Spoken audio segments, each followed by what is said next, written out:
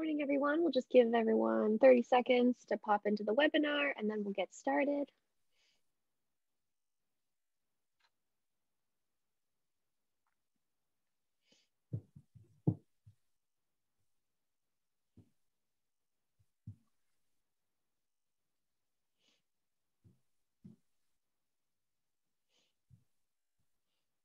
All right, we've got a good crew here. I think we'll get started.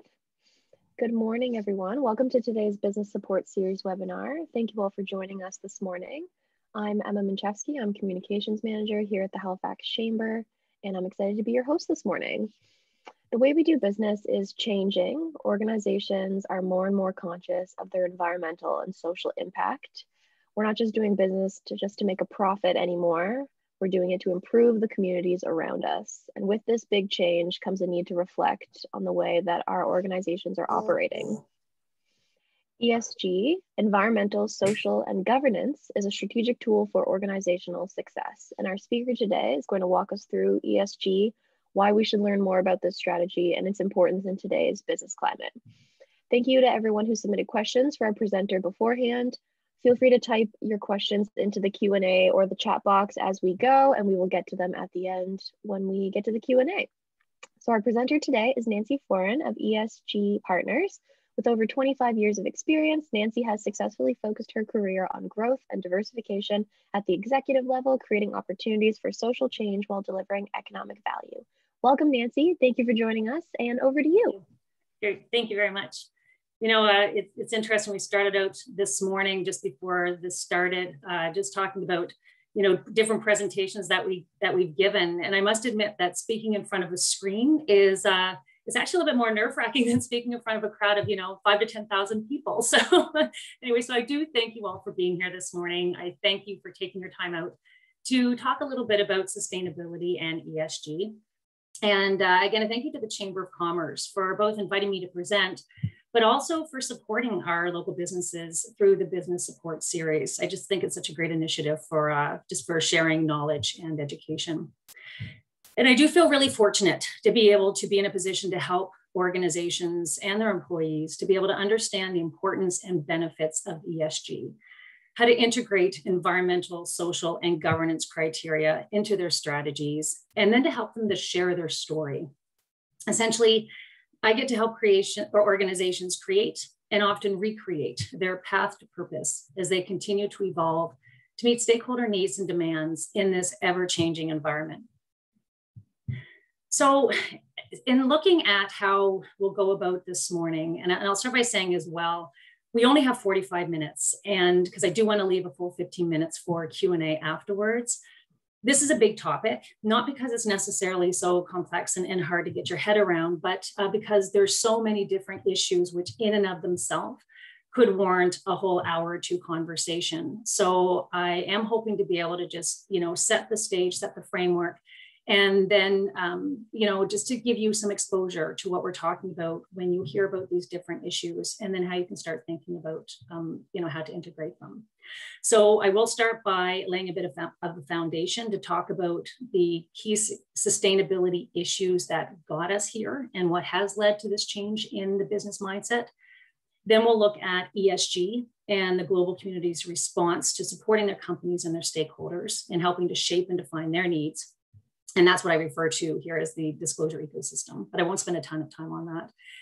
And then after looking quickly at some of those tools and frameworks, we'll move into those more practical tips that can help you in your organizations to start thinking about ESG, how to start integrating environmental, social, and governance criteria into your business strategies, and to start thinking about how you might report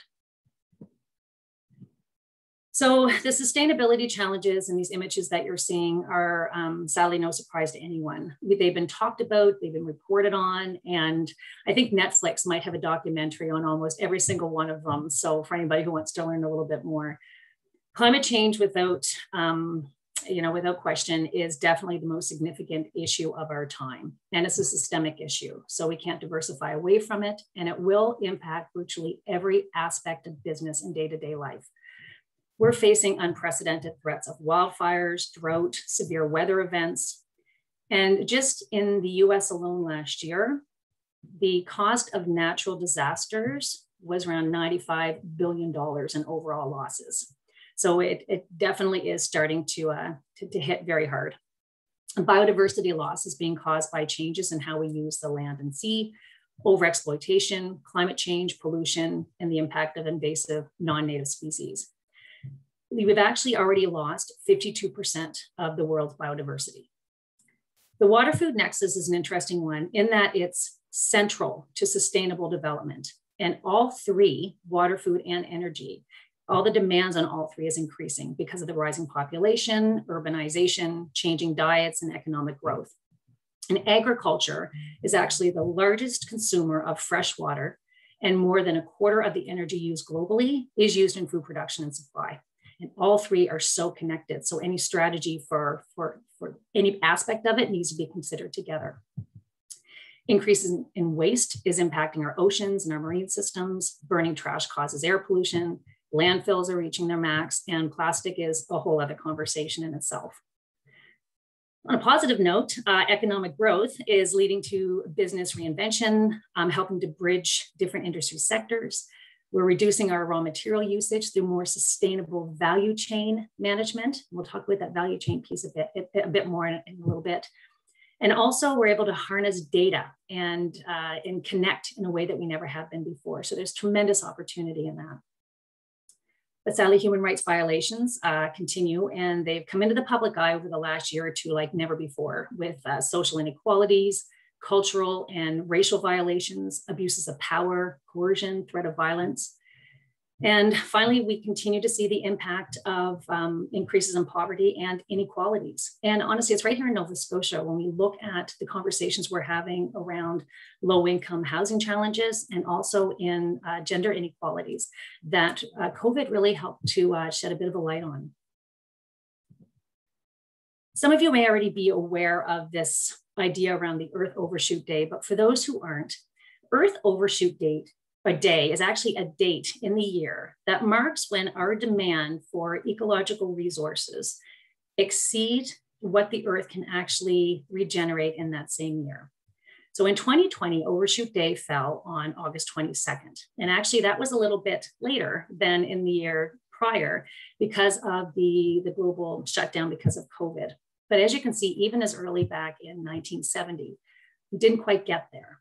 So what ends up happening is as we spend our allotment in the current year of what the earth can give us, we're borrowing from future generations and future years. And we don't have any way to pay that back yet because we aren't doing any better. So every year we continue to overspend and overspend and take more than what we should with no ability to pay it back. And you think about a bank account, you keep borrowing and borrowing, but don't have any plan to pay it back, you get into a crisis, and that's where we're at. So when we talk about the ecological overspend, it's actually a reflection of the fact that we are consuming between 1.6 and 1.7 times faster than what the planet can regenerate. So as a, as a final comment on this, um, there's a tool called the NASA Climate Time Machine. So just Google that um, after, after this webinar and, uh, and take a look at that. And what it does is it shows the changes that have taken place in sea ice, sea levels, carbon dioxide, and global temperatures over the years. And it, uh, it it's quite impactful. So just uh, put a, a finishing note on that, I guess. So what this has done is this has led to the global community making some firm commitments around sustainability. So sustainable development is defined by social progress, economic development, and climate and environmental responsibility. So in 2015, the United Nations and its 193 member states, Canada of course is one, defined 17 sustainable development goals, also called global goals or the SDGs.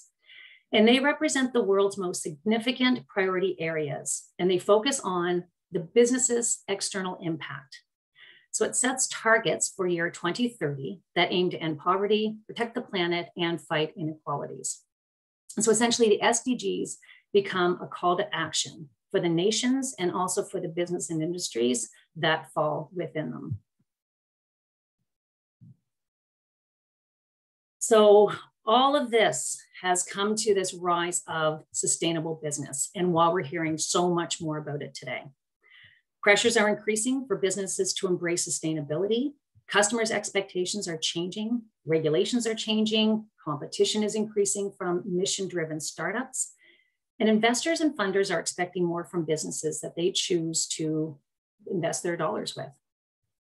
At the same time, there's new opportunities for businesses looking to adopt a sustainable operating model. There's potential to find efficiencies that will lower cost, enter into new markets and new market opportunities, enhance relationships and collaborations and partnerships, and the ability to attract talent into their organizations that in this talent who are being drawn to a new mission and purpose. And there's uh, generally an understanding that you should be able to do financially well by also doing good.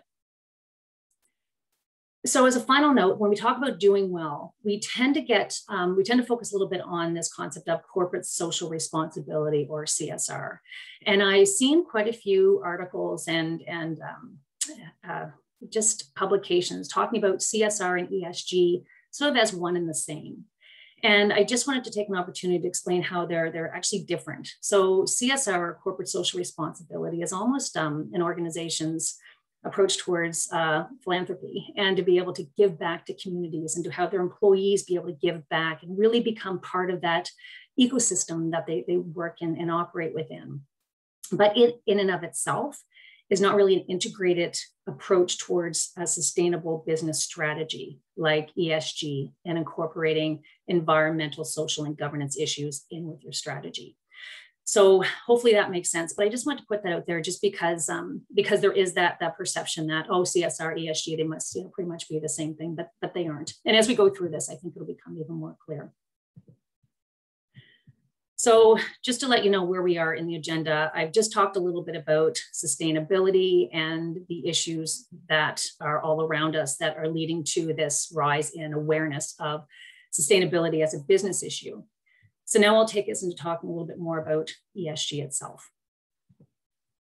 So when we say ESG, what do we mean and why are we talking about it so much now?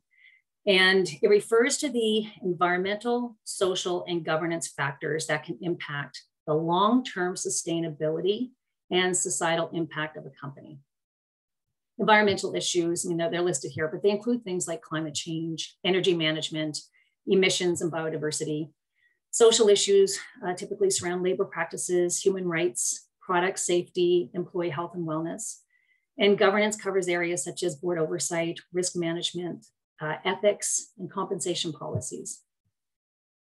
The adoption of ESG is actually driven by the investment community's need to have an objective approach to decision making, where they could start to look at the risks and the opportunities that companies are facing.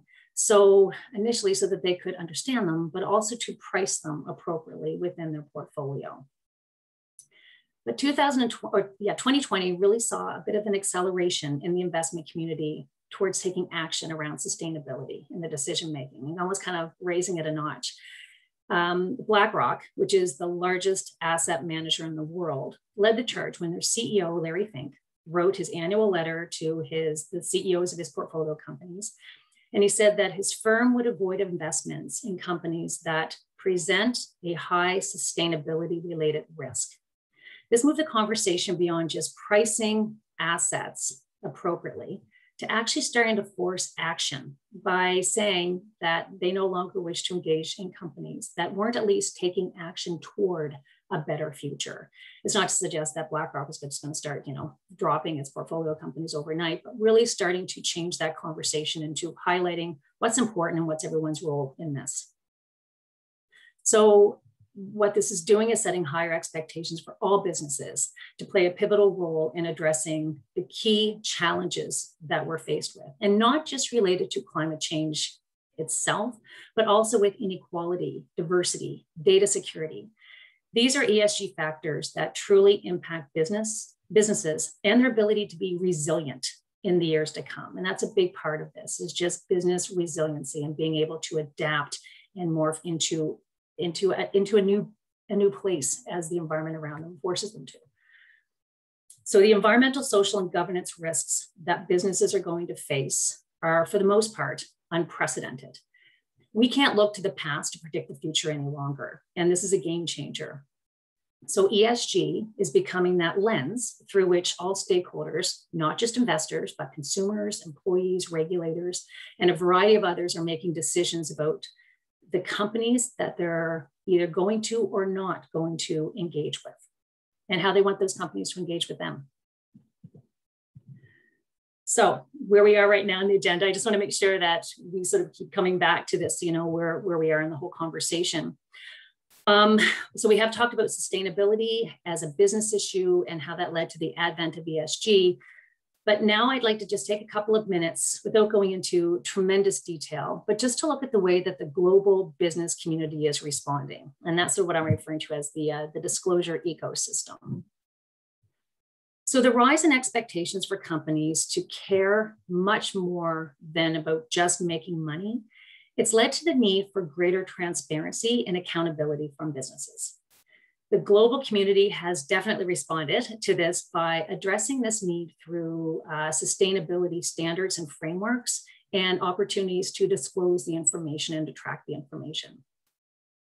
There are probably over 100 environmental, social, and governance standards, uh, reporting frameworks, um, surveys, all those sorts of things in, in existence today that make up that disclosure ecosystem. And it's all aimed at meeting the information needs, primarily for investors, but also for society as a whole. And that's where things are starting to move to. Everyone's caring, not just the investment community. But, but I'll, I'll take a quick minute just to sort of point out that we've seen a lot of these issues around us for years and decades.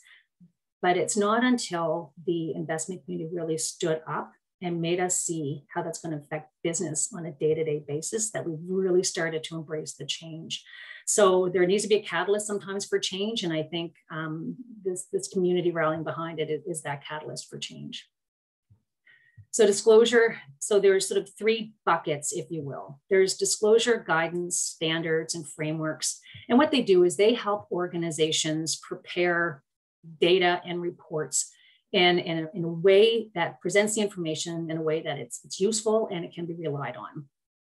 Data aggregate, aggregators uh, focus on gathering data from a variety of sources so that investors and stakeholders can actually pull information from one source.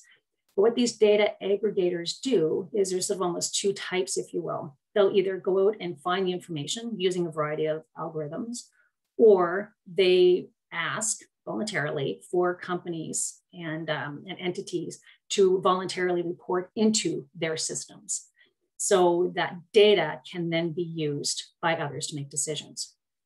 And then uh, we have uh, ratings and analytics providers. And what they do is, unlike the data aggregators, which primarily just provide the data to the clients, these rating agencies actually use unique methodology to start scoring and ranking companies based on their comparative ESG assessments. So it, it starts to really um, change how companies are being evaluated. So I'm going to look at them in a bit more detail, but once you see the slides coming up, don't get overwhelmed because it, we'll just go through them quickly. So this gives a sense of the standards and frameworks that are out there. Some of these may be familiar to some of you, some of them maybe not. Uh, we've got like the, the SASB, which is just the Sustainability Accounting Standards Board. That's more investor focused, looks at financial materiality of the different risks that businesses may face. And it definitely does look at it from that investor lens. The GRI, it's based in Europe. It looks at it from a, a perspective of the stakeholders, looking at the environment, society, and the economy, and look more at the impacts as opposed to necessarily financial materiality.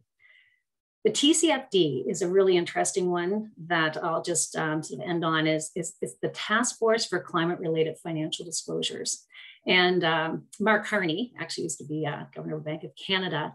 He was very involved with this. And what it does is it actually uses um, climate as a way to, well, it, it focuses on climate related risks and looks at the financial impacts that a company will face because of them. And it, it adopts a forward looking focus to start to predict what business issues could result as a result of the changing climate and the changing planet around us. And it looks at transition and physical risks, and it looks at um, metrics around it. So it, it just because it is such a forward-looking um, framework, and they actually use and strongly recommend um, scenario analysis to start looking at different scenarios in a given state. Like you know, what would what would the world look like in a two degree um, you know warmer planet? What would that mean as far as regulation changes go, or customer buying habits, and all those sorts of things? So it, it really is quite an interesting tool. And then, of course, we already talked about the SDGs, and then you have the integrated reporting and uh, climate disclosure board. So then we have data aggregators, already talked about those. When you start looking at things like the IRIS Plus, uh, they're more impact focused. B Analytics, some of you may be uh, familiar with B Corps or uh, benefit corporations. They help track some of the data in there. Um, is, is really focused on real estates and real assets. And these are those voluntary um, frameworks I talked about where you actually put the information in during a certain you know window in time everybody uploads their information and then um, you can see how you rank against your peers others like bloomberg will just go in and get the information and pull it together one thing I wanted to mention here about the CDP. Now that's an organization, uh, it was formerly known as the Carbon Disclosure Project, but now just go under CDP. What they do is they cross over providing guidance, but also as a data aggregator. And um, they sort of help to um, shape you know knowledge but also tracking information for cities municipalities regions and companies too of course and what's great about it and the reason i wanted to mention it is that our city of halifax actually reports into the cdp making it one of only a handful of canadian cities to do so. So when i saw that and, and learned that i was quite excited. So congratulations halifax.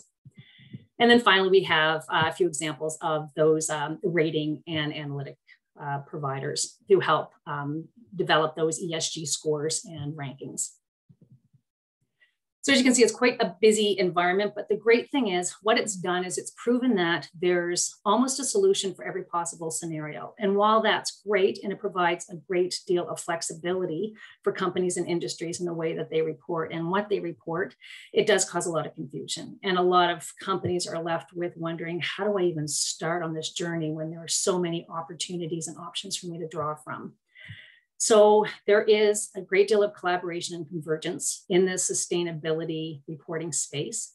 Um, the IFRS Foundation, which oversees our international financial reporting standards, is receiving strong support to become the oversight body to also oversee sustainability reporting.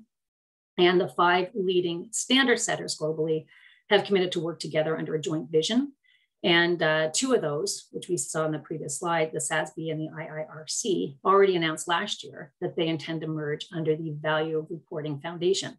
So a lot of stuff going on, and I expect by the end of this calendar year, we're going to see some real movement in this sustainability reporting space to make it easier for everybody.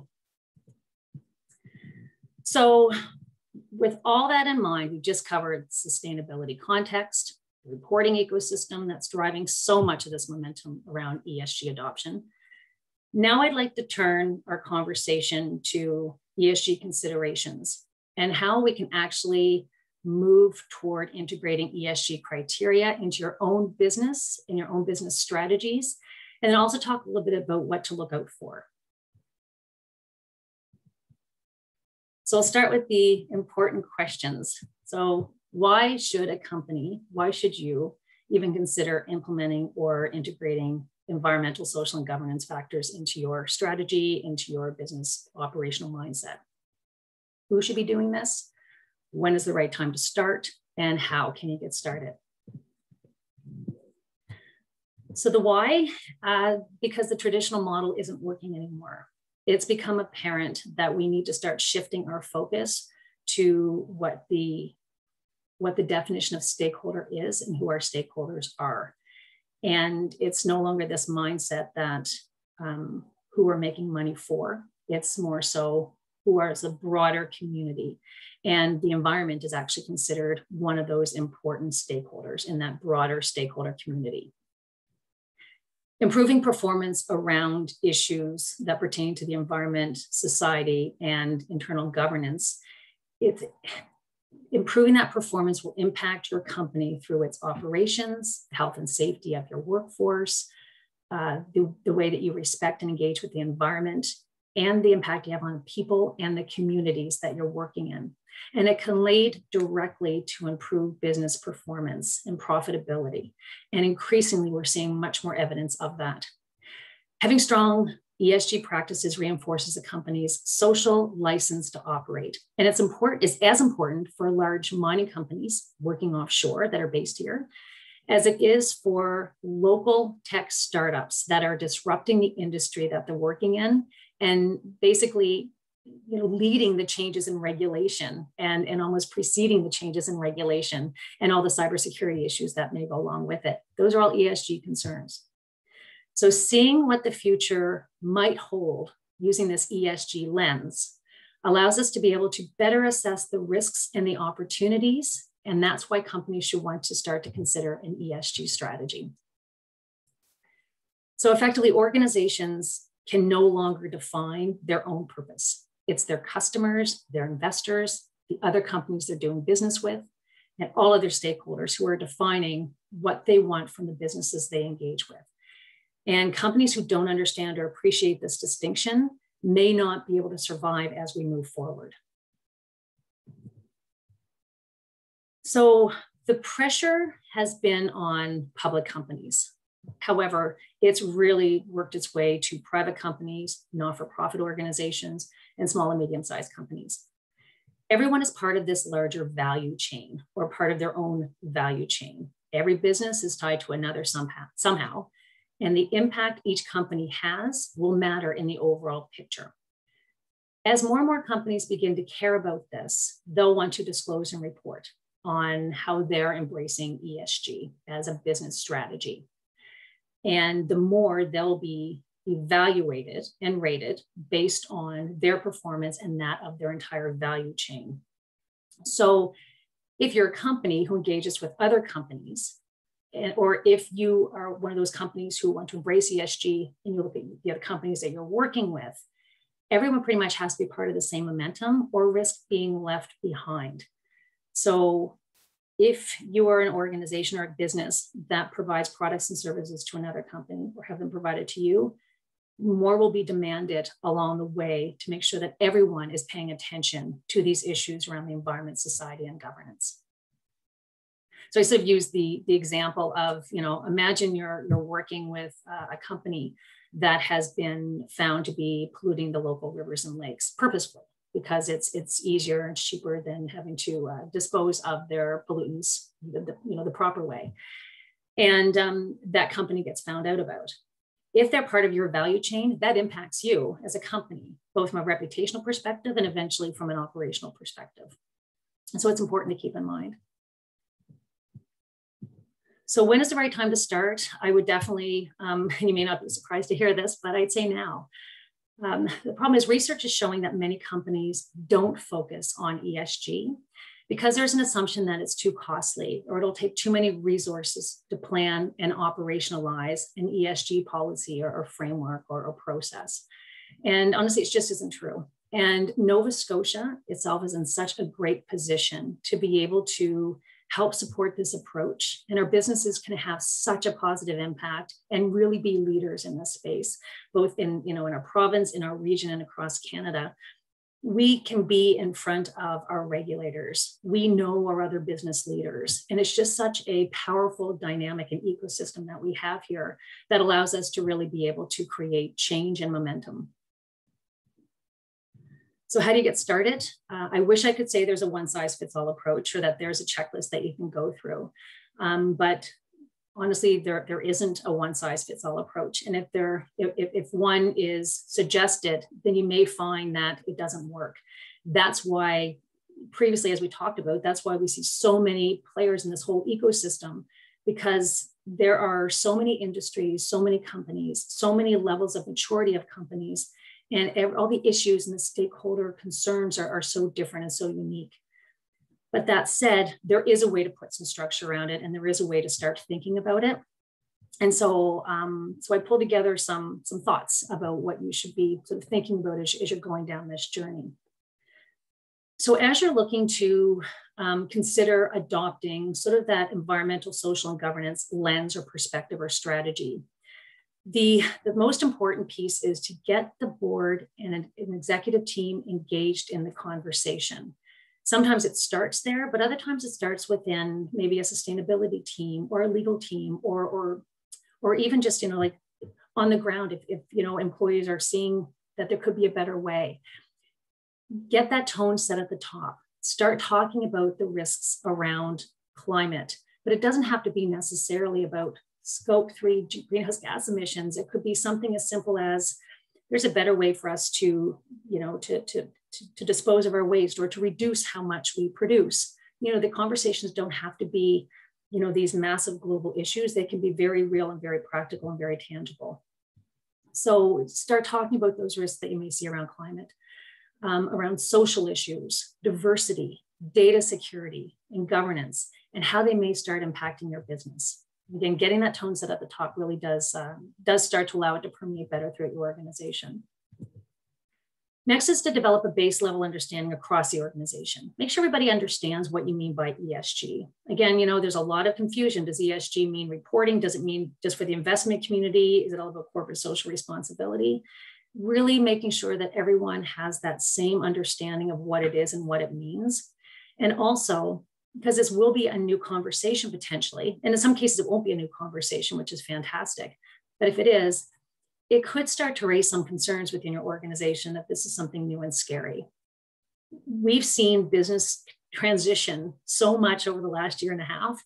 It's a matter of really, you know, trying to to bring it in in a in a very sort of um, you know in a very positive way about how it can be, you know, just a, an enabler for wonderful things to move forward with. And so it's really about assessing what you're doing today and then how you should be doing it tomorrow. So next is around uh, engaging the employees around the organization. So going back to alleviating some of the concerns, help make everybody part of the solution. So engaging employees across the organization will like, like that helps maximize the knowledge and provide a variety of perspectives about what's going on within your company. Cross-functional alignment across business, across departments, um, across sort of um, like levels of the organization, and even to set up an ESG committee so that will also help ensure that a rollout or, or a, a conversation happens more, more smoothly. A broad-based commun- committee can support internal communications. They can become the champions for implementing and monitoring some ESG initiatives and also assist in helping to identify key metrics that you should be looking at and also help to identify any stakeholder concerns that might be starting to, uh, to, to percolate up. What I would suggest as well, though, is if you are going to go down the committee route, to make sure that it's small enough to remain nimble and effective and engaged. The next one is the ESG policy. So the policy is, uh, is that sort of that piece that sets the foundation for your company's ESG program. It should capture your company's sort of guiding principles, such as values, transparency, integrity, and continuous improvement, and also serve essentially as your North Star to inform and guide your efforts in ESG operations going forward. That policy should also look clearly at who's accountable for the policy and, and where do all the roles and responsibilities fit within it. Um, and, I'll probably mention this again a couple more times. ESG really is, it, it continues to evolve and, and move. So um, it, it, it, can't be just a static um, thought or a static policy that doesn't that doesn't continue to, to morph. And you'll also need to consider your stakeholders. Which relationships do you most need to manage? Who's impacted by you being in business? And who and what groups can impact you? Think about NGOs, regulators, government, your customers, large advocacy groups. They could all be those stakeholders that you're going to want to engage with to be able to see what risks you may have facing you that you didn't necessarily um, that, that weren't necessarily apparent before. And also the consideration of materiality it's really important. What issues do you most closely need to manage? What are the risks facing your organization? And what are the unintended consequences that maybe you're having on your stakeholders and society and those sorts of things that you as a business may need to start to consider? And a critical piece of the framework or the whole program or process is starting to take a look at what your organization is already doing. You may already be doing a lot of things in the ESG space, and you're just not necessarily looking at them or measuring them or tracking them. So starting to bring together all the information that you have, developing one repository, if you will, for all this information to act almost like as a central database. And it needn't be overly complicated at first. Let it be an Excel spreadsheet. You know, I never like to recommend anybody start something tracking in an Excel spreadsheet because it can get overwhelming very quickly. But if that's where you need to start, start there. And by being able to bring together information on what you're already doing, it'll help build that momentum towards maybe what you should be doing or want to be doing or what you want to start tracking. Some information may be easy to get, some information may be difficult. So just don't try to boil the ocean at first. Really just start looking at what you're already doing, what your top, top priorities are or should be, and then also consider what information you can have relatively easy access to, and then start building from there. And communication is about telling your ESG story. So share your policy on your website. Tell the world what you're doing around sustainability. Leverage social media or whatever other communication channels you're accustomed to, to using as part of your day-to-day business. Many companies might just start with uh, an ESG section or page on their website, or simply post a, a policy or commitment statement saying that we're committed to doing this and we're just starting our journey take a look at what some of your peers are doing. So, you know, whether they be competitors or, you know, companies that you collaborate with, get a sense of, of whether or not there's been a bar set. And if it is, what, what does it look like? And see what you can, you can comfortably do. Sometimes not comfortably, but what you can do. and um, as part of the communication, it's starting to look at, uh, at disclosures. Your sustainability report is your, your ability to disclose what you're doing, and it shows your efforts around environmental, social, and governance issues.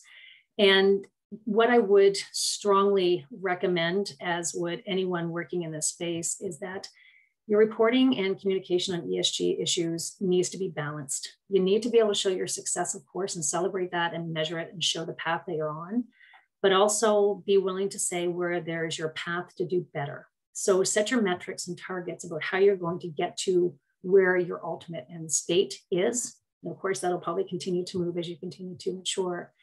Um, and where you haven't met your targets and you haven't um, achieved what you set out to do in a given year or given reporting time frame, just explain why and then how you're going to, to address that moving forward no one's going to get this right the first time. Some companies take years to be able to really get this right and embed it in their organization the way they want to.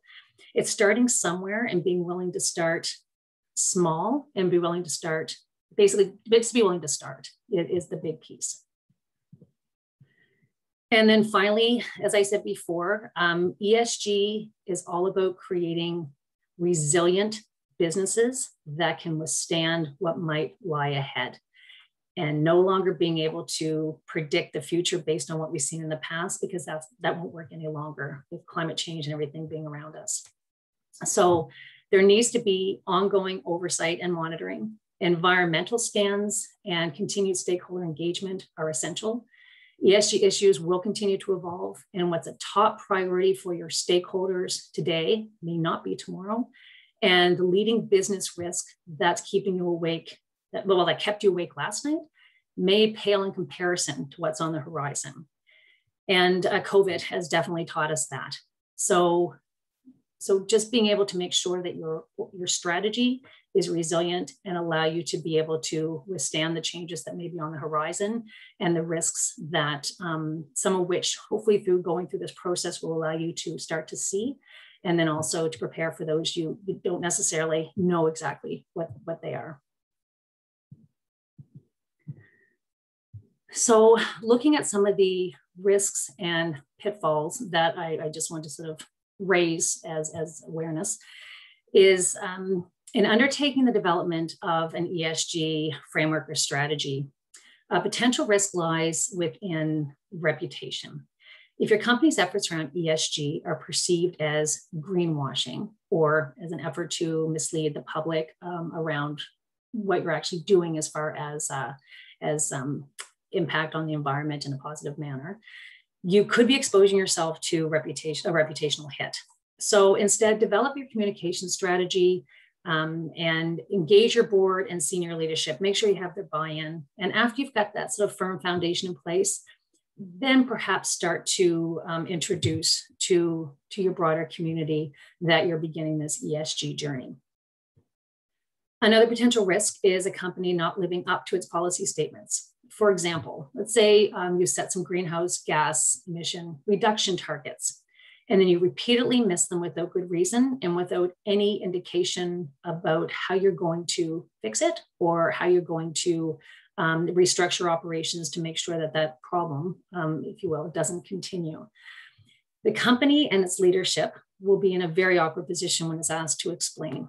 So, what it ends up doing is it ends up just um, making it seem like you're not authentic or that you didn't truly take it take it seriously and it was just you know lip service or again greenwashing so again i i would strongly encourage you not to set up too much for yourself don't don't be afraid to start small because companies can often want to take on too much set too many metrics too many targets and then they start focusing on just these esg targets and not looking at how it truly pertains to the entire picture so really just looking at E, S, and G as three sort of perhaps, you know, buckets or pillars.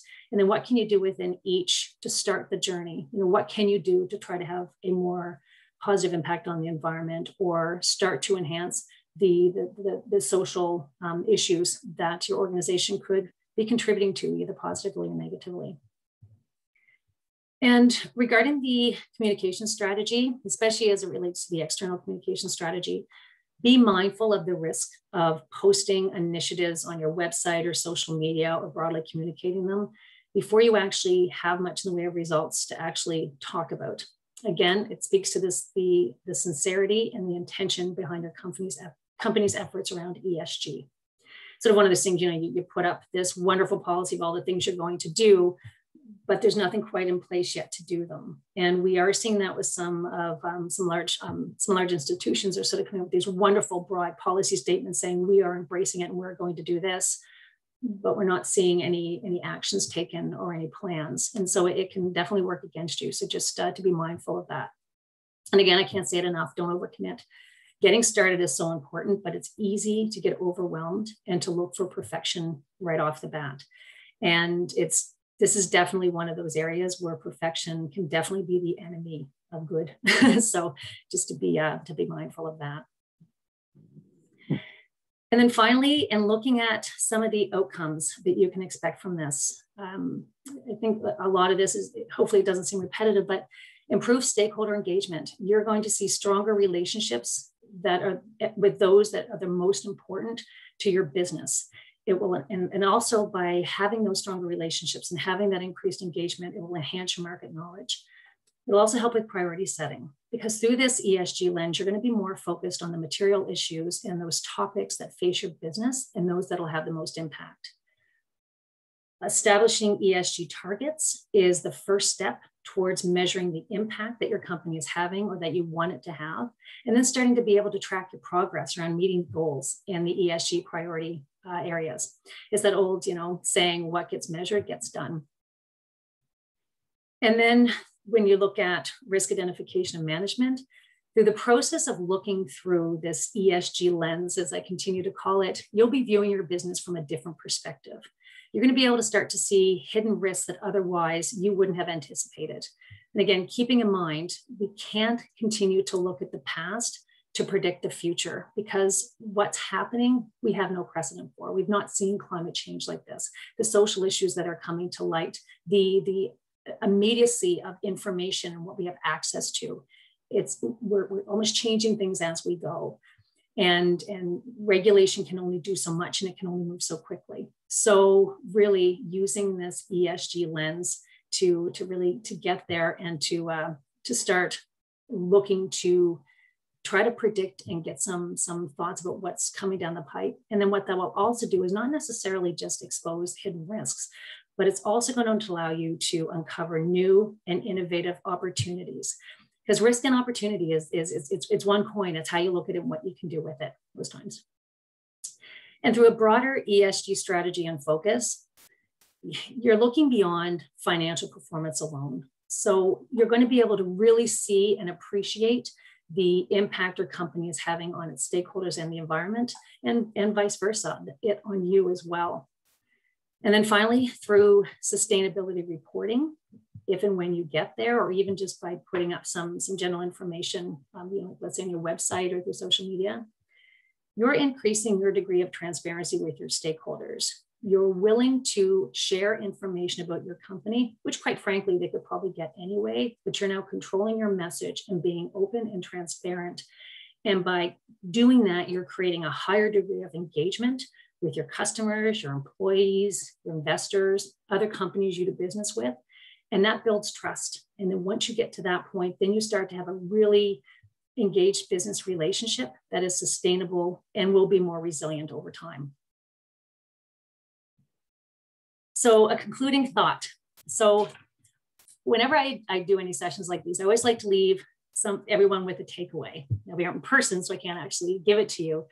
But um, I read this book a few months ago, and I just felt like it was an excellent overview of the sustainability journey. It's kind of our path, how we got here, some things, and then also where we're going.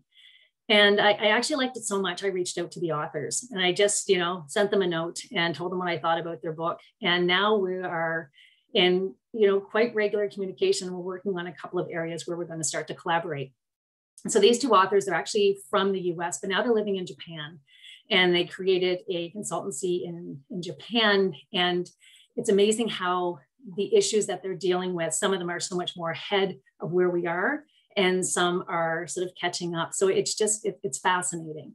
But all that to say, I have two copies that I'd like to offer as a thank you for attending this session. And so the only way I could think about being fair about how to get this book into hands of only two of you is um, if you could give some thought to what you took away from the workshop or even more so what you want to learn more about. Because my fear of course is that this just opened up a whole can of worms of, of confusion what you want to learn more about. So the first two people who can give some thought to that and, and put that in the chat um, those first two people again what you took away from today or what you want to learn more about the first two people will get a copy of the book. And so i'm going to leave it to emma to be able to determine who actually got there first but the books will be sent directly uh, through you. There's a bit of a delay um, through Amazon, so they'll be sent directly to you um, from there. So I don't need to ask the chamber for that favor. So um, yeah, so with that, I guess I want to say thank you. I think we do have um, just right around 15 minutes to be able to have some Q&A. I haven't been able to monitor the chat, but I do see that there's a few in there. So hopefully um, Emma can sort of just let me know if there's any questions that we can we can talk about. So thank you, there she is. Yes, absolutely. Thank you so much, Nancy. That was fabulous. Um, it's great to learn about this topic because it is so prevalent right now. Everything that we do in business has to be a little more socially conscious, environmentally conscious. So this is great to learn about. We really appreciate you coming on. I'm going to start with uh, Paula's question. What size of companies, or maybe by measure of employee numbers, does this start to make sense in terms of cost and benefit? I know small companies can benefit, but they don't generally have the human resources, time, or money to really dive into ESG work. Yeah, and, and honestly, that's a that's a great question. Um, I, I personally believe, and uh, and and I'll start by saying there's no there's no magical size. So if you're a really small company, let's say you're just starting to build, you're in that startup phase. Of course, there's this mindset. I just need to get clients. I just need to get customers. I just need to start the the ball rolling and but if you can at that time start thinking about what will your structure look like? Do you have an advisory board? Do you have a governing board? What are your employee policies like? What are you going to expect of people even in your office if we ever return to an office? Um, what will your just recycling program look like Will you have a work from home policy to be able to allow employees to stay at home and reduce their greenhouse gas emissions from driving back and forth to work every day? What will be that integration you have with your communities? Who are you going to do business with? How will you pick your suppliers? Will they be local? Will they be, you know, ordering something online from an international company? all of those pieces, they help form your policies around ESG and they can start from day one. Because if they're ignored and you're just focused on the next customer or the next round of financing, and you don't worry about all those things, you may not necessarily be able to attract the right talent because they won't see you as, a, as an organization or a company with that structure or with that positive energy that's going to lead you to that next phase. So just getting some basic structure in there that do look at it from that environmental, greater society, and strong governance, like even a, a, code of ethics. All those sorts of things can be brought in at a relatively low expense. It, and, and it doesn't take that much time. It's just getting it in there early, and then you can just let it grow because it won't ever be a good time. Hopefully that answers the question. Yes, that was a great answer. There won't ever be enough time. That's absolutely it. It's a priority. Can attest to that for sure. Um, I just want to read some of the comments here. So one of the biggest takeaways for Angela was be realistic, start small, don't overcommit. I love that. Uh, and what we want to learn more about is how to incorporate this into your organization without a budget to start. So I feel like you kind of touched on that. Is there anything else you wanted to add on that? Uh, yeah, it, it's if um yeah because not all of this means you have to go out and i can't remember to say you don't have to go and hire a consultant to come in here and do all of this like i said yes start small and just start to look at what what matters the most talk to your stakeholders look internally look at the risks that you have facing facing you and and do some reading and look at what your competitors or your peers are doing. And that's a great way to start. And you can just get a, an internal team together to start working on it. Again, keeping in mind one of those sort of risks that I had mentioned, though, just make sure that you don't overcommit or over publicize what you're doing until you're sure that you can start to create some momentum and start to, to get some of those actions in place.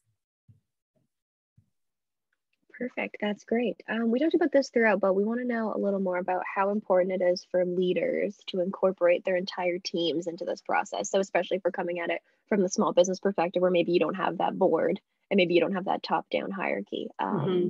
Yeah, you can touch on that a little. Yeah, um, you know, and I'm not sure if this is kind of where the question is getting to, but sometimes it becomes that that cultural conversation. Like we have a, a culture issue where we've always we've always done it this way. This is great, you know, or um, our company's doing well. We we tick off our boxes at the end of it to say that we're not causing any harm and we are doing great things. But to get it really embedded in your strategy, even if you don't have a board, then I, I, think the question actually almost provided the answer as well is getting your teams involved. If you're a small organization, and especially if it's a young organization, you might find you've already got so much commitment and, and will to want to pursue some, some initiatives in this area. So just start looking at it. Start looking at what does your what does your lunchroom look like? You know, are you using you know plastic bottles or do you have a water system in place? if you are forcing everyone to come into the office, well, not right now, but if you are going to force everyone to come back to the office, think about whether or not you have to if you are a small company but you're doing a lot of international travel or business travel do you need to do that? And and if you can actually get your your whole you know even a, department even if it's like a bit larger and you're going across different departments but get different teams even who can start to think about this. You might find it just ends up becoming a really energizing project as well. So it's it starts with again maybe a first step in this case if it's a small company is maybe just do a lunch and learn session, bring somebody in or do a webinar or just talk about it. Um, but you know, the lunch and learn session is a great way to just get everyone on the same page about what it means. And then as soon as you know what something means, you understand it, you can start to see yourself in it. And that might be a, a way to go as well. I hope that answered the question. Absolutely, that's great. Um, I'm going to read out another big takeaway. Um, all the organization involved in the ESG disclosure ecosystem and how we're starting to see convergence. And I'd like to learn more about the different paths for companies to capture and disclose data effectively. Love that. Um, I have another question. I'm just trying to find it. Oh, can you tell us some examples of companies who are doing a really good job at their ESG strategy? Sorry, put you on the spot. yeah, it, I, I apologize that it's it's one that um, I think we all know of, but it's not local. But I, it just popped in my head, and I can't seem to get it out of there. But you look at a company like Patagonia. I mean, they have been some of the leaders in this, and they have, in, you know, and, they've even taken the ESG piece it to a whole other level, and they're trying to create this concept of a circular economy. Like they want to reward you for not wanting to discard your clothing. They want you to send it back so you can fix it. They look at their supply chain and every element of their supply chain and see how they are interacting with the environment and with society. And they've taken it one step further as well. And they've um, been one of the larger organizations to sign on to be a B Corp, B standing for benefit. So to be a B Corp, you're actually embedding in your in your actual regulations of the certain commitments that you're willing to make around that environmental, social, and governance piece. So yeah, I mean, there's some wonderful things. We're also seeing too, like you know, National Bank has put out its uh, ESG report. And it's just a lot of great stuff in there. BlackRock, of course, has it has its. Um, but you know, like a lot of companies are really starting to to look at, um, at really building this in. I had a conversation actually with a gentleman over um, just in in uh, New Brunswick. So Major Drilling, they have like you know look at their website. They've got their policy right on the website as well. So there's there's a lot of a lot of work going into it, and a lot of companies are really taking a um, just sort of like a, a customized approach. Um, one company I know is starting to look to, to walk down that path of um, the TCFD or that climate, the, the climate disclosures. And because climate disclosures can quite often be a little bit sort of qualitative at first and how, where do you start?